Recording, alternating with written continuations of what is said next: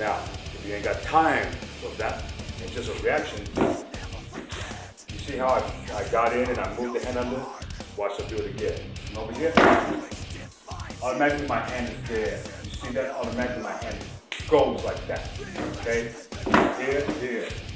And I'm right here. There's so many weapons in this small space. You know, it's here, it's here, it's here, it's here, it's here. Push it out. There's again, there's so many people, there's so many weapons to use, especially in tight spaces like that. Now bring this back over. Remember, the key is patience, and also the key is to be honest with yourself. Okay? You cannot be just one shot in and just stay there and expect and just come like this, expect someone just to go down. Now, unless you have a super power punch, unless you're heavy as hell, that have a lot of weight behind them, yes. But for the people that don't have much weight behind them, and you've got to use speed. Because let me tell people, there's always somebody bigger than me. Okay?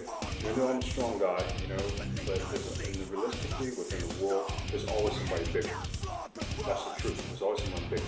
But there will not be as many that have speed plus the power with it. Now, people, when you're there this close, okay, especially when you're pushing it over here, don't just come in one shot, okay? No.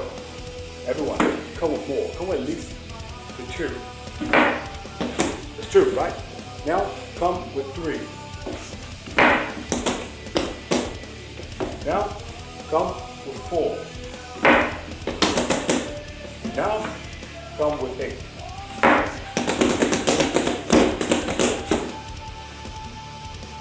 Now, come with 12.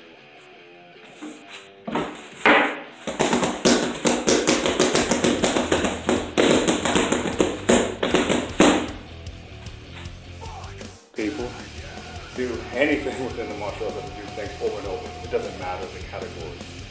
We all are connected to the circle of understanding that we can do things of muscle memory over and over and over till it obtains to our body and we know it to the T where we can do it in our sleep. And it's true, people, it's in all different categories. Even from the guys that do jujitsu, Brazilian jiu-jitsu, I know many guys, many black belt friends of mine, what they do on the ground is muscle memory. It's like a human muscle, but it's muscle memory. And that's what it is, it's muscle memory. For standing up, dealing with the base of the Kung Fu, muscle memory of over and over. Taekwondo, muscle memory over and over. The kicking. Same thing dealing with the Muay Thai, dealing with the Muay Thai kick, to the eight weapons, muscle memory to obtain.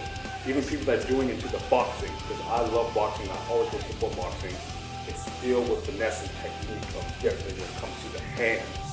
And, and I'm telling people, they're all connected to the circle, we are all connected to the fighting.